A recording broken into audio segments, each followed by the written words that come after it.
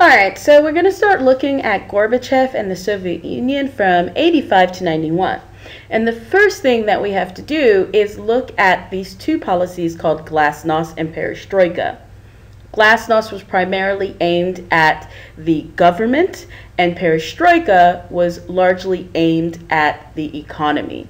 And these two things are going to work together to A, destroy the Soviet Union, and B, um, provide an overview for or an umbrella for all of the policies that Gorbachev is going to implement. Now, I break things down into political reform, economic, etc., but realize that some of those uh, divisions are somewhat artificial, especially when we're looking at the Soviet Union in this time.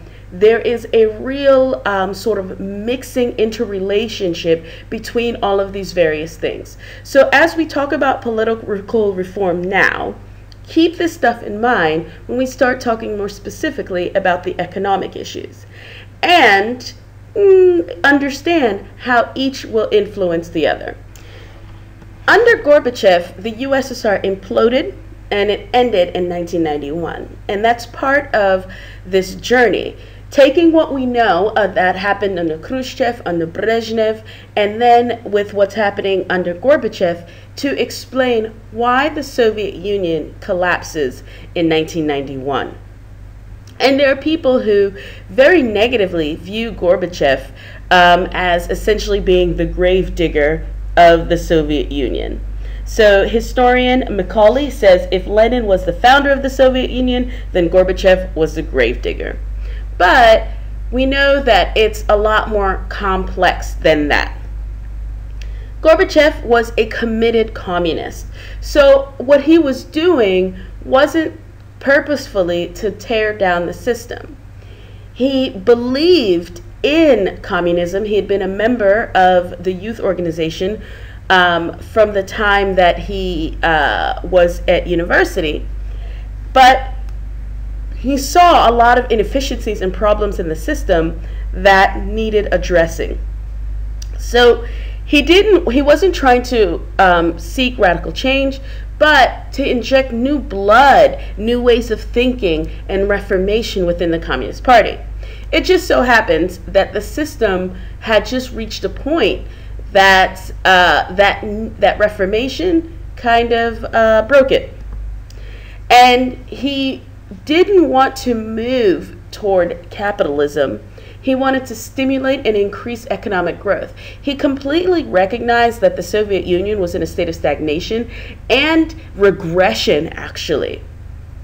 And there needed to be some improvements. So he still wanted state socialism, but figure out some ways that this could be coupled with economic growth. So, in order to reinvigorate the party and reform the party, he started changing the composition of the Communist Party.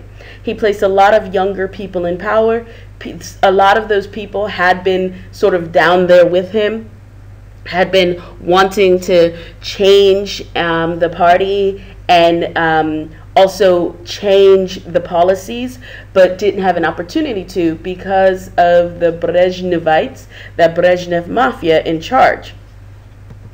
He um, sought to get rid of people to reduce corruption, and by reducing corruption, you get people in there who want to improve the party.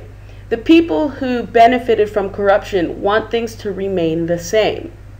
And so by getting rid of them, you get people who uh, are looking at the global picture and the betterment of the party and the country rather than their own um, benefits.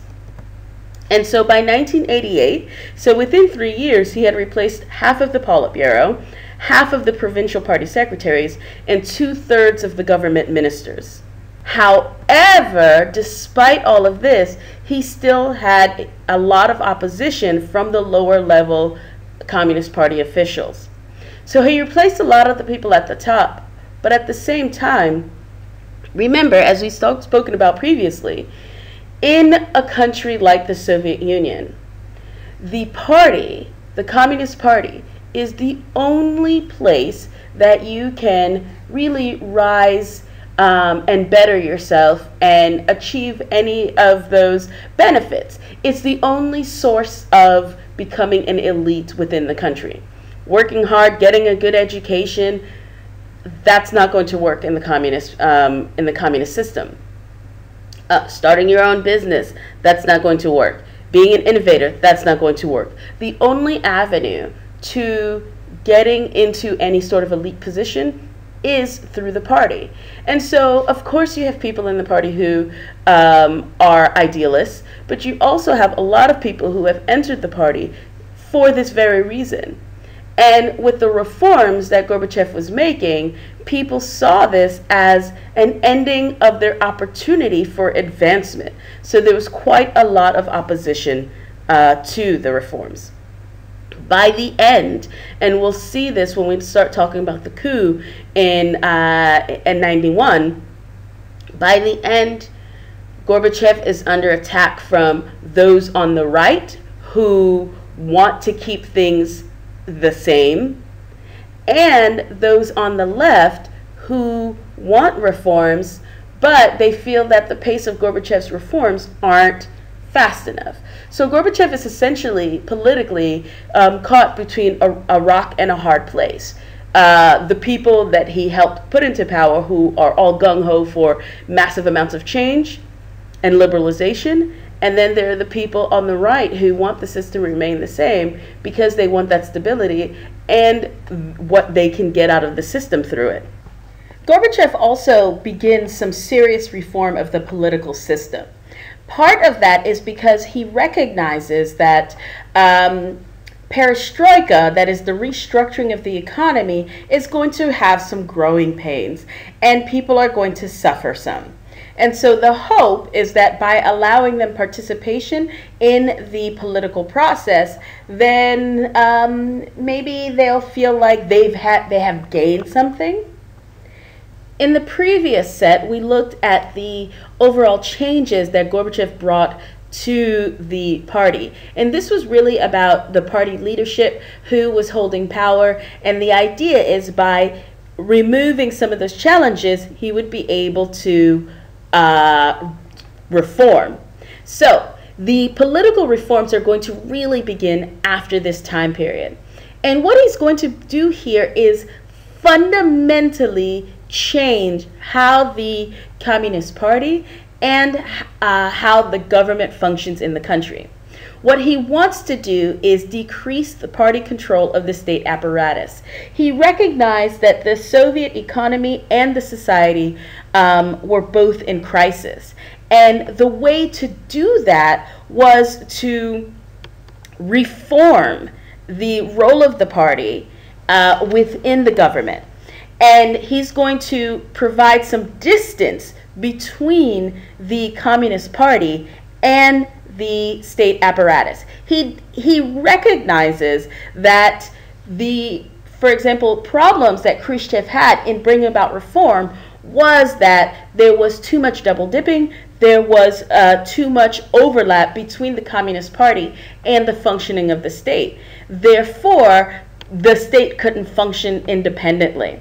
So, in order to do this, he's going to reform the role of the party, as stated. He's going to reform the electoral system, that is, how people get elected and voted into their positions. He's going to change the legislative system, the way laws are created. He is going to change the executive body, that is, the control that the people who implement the laws have, and he's also going to change the way the bureaucracy functions that is the actual nuts and bolts of the government. So, in essence, he's going to completely reform the Soviet system. How he didn't realize that this was going to um, be all kinds of bad for him and and that this was going to really break the system, I don't know. But hindsight 2020, you know what I'm saying? So in 1987, he announced because of this crisis facing the Soviet Union, he was going to uh, he, that the the systems needed more democracy. and they would begin with competitive elections in June. And so the idea here is this was essentially going to be the first time in generations since people had a choice as to who they would be electing. And he establishes a new electoral law uh, for this in the December of the next year. From 1988, the pace of political reform increases. So, from January of that year, uh, Gorbachev announces that the local and regional Soviets are all going to be multi candidate elections. Remember that previously the party put forth a candidate and you voted for that candidate. Now uh, there will be more choice for people. At the 19th Communist Party conference in June of 88, changes were approved for the methods of appointing party officials. Now, keep in mind is by the time we're having this conference, um, he has a lot of people uh, seated throughout the party who will support him. And what this calls for is fixed terms for people participating in the um, in the Congress. And again, multi candidate elections to the Communist Party for participation in the higher party, especially the higher um, party positions. And this basically increased democracy within the party. The idea is that people have a say as to whether or not you're doing a good job. And um, you can't just enter the party and stay there for life and accrue benefits. So this is also going to feed into the shaking up of the system to allow for economic um, improvements. Robert Service says that the party was being dropped as the vanguard of perestroika because we know that um, that as as Gorbachev believed that there was no way for perestroika and those economic reforms to be successful if you still have um, the same people in power accruing benefits, stymieing the development. As a result of continuing resistance in the party, in December there was the creation of the Congress of the People's Deputies and a new Supreme Soviet. So basically, he kind of dismantles the system that's in place. There would be 2,500 deputies to meet two times a year, and those deputies would then choose 542 people to serve full time as the lawmaking body in the Supreme Soviet. So the the political um, political uh, legislative executive situation which had been in place since Stalin has now been dismantled. Now keep in mind that you still have single party rule. This the CPD was not meant to be a swift change to, to democracy. One third of the people within the CPD were to be nominated by social organizations, and one third by uh, the Communist Party, and then the other third was open. And the Supreme Soviet was now to choose the General Secretary as the chairman. So the, they had to take the general secretary of the Communist Party as the chairman of the Supreme Soviet. So we have elements of democracy in there, but don't get all crazy now because they haven't been like, whoop, whoop, democracy. This is a huge step in transforming the political system. The first election to the CPD was held in March 1989. This was the first time there had been semi free elections since 1921. This was huge. This was a political turning point. People were very, very excited.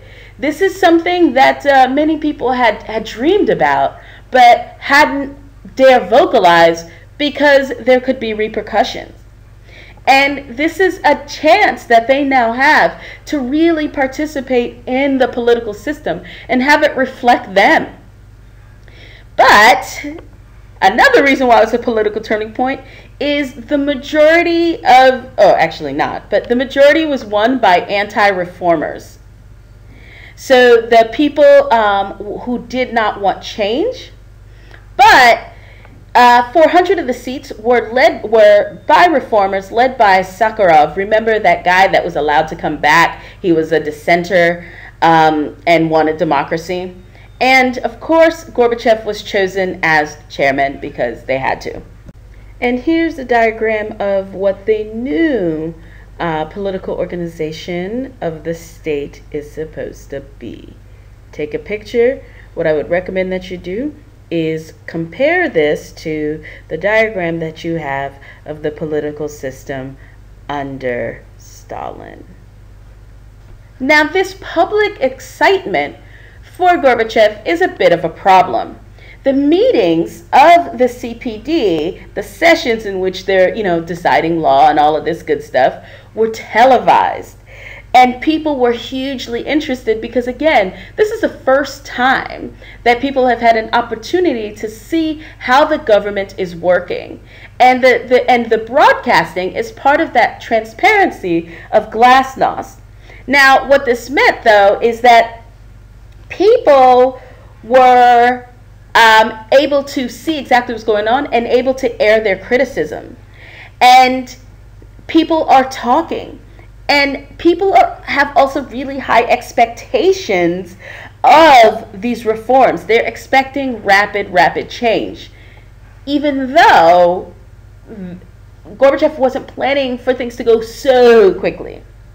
One of the things that we have now is part of this glasnost is the discussion of previously taboo issues of the past and the present about the gulags, about the, um, the political discourse, the economic problems. And now, as part of this desire for um, more rapid change, you start now having calls for um, to end the Communist Party's power monopoly. And now we have political clubs that are also developing outside of the Communist Party and outside of the CPD. And the, of course, um, bans are the bans on party faction is limited, is lifted rather. Now, Gorbachev's goal is that um, was that this whole process would bring about political stability. One, he removed some of the roadblocks toward the reforms and um, holding the government and people in elected positions um, responsible uh, for their actions because the public is invested in it. And this would create a situation where the Communist Party is still integral to the system and involved, but allows for focus on the economic issues. But what it ultimately led to was more turmoil. People are wanting faster and faster change. And essentially, that change does come faster than the Communist Party can react, and certainly faster than Gorbachev can react. And he now faces increasing attacks, as we talked about previously, from the left and the right.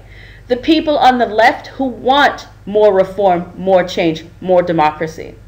The people on the right who want less reform, less change, less democracy.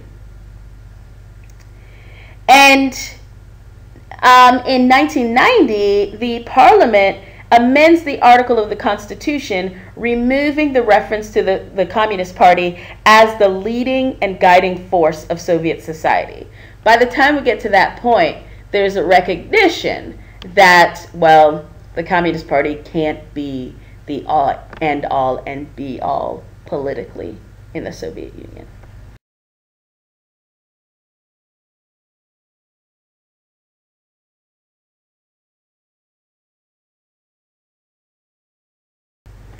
The surprise this time is a little different. I know you've been listening to a lot of stuff and taking a lot of notes, I hope anyway. So just take a moment and decompress and stare at this.